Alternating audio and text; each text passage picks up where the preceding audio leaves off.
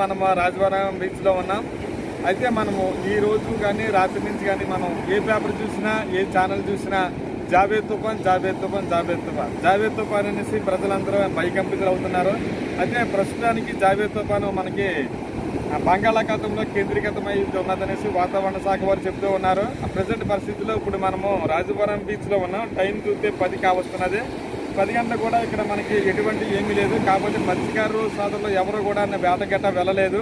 రాత్రి పదకొండు పన్నెండు గంటల ప్రాంతంలో తుఫాను వచ్చే సూచనలు ఉన్నాయనేసి వాతావరణ శాఖ వారు మనకి ఆదేశాలు జారీ చేసి ఉన్నారు. మత్స్యకారులు ఎవరు కూడా వేటకి వెళ్ళలేదు ఈ రోజు. ప్రజెంట్ పరిస్థితుల్లో ఒకసారి సముద్రాన్ని చూద్దాం. మన రాజవరం సముద్రం ఎలాగుందో.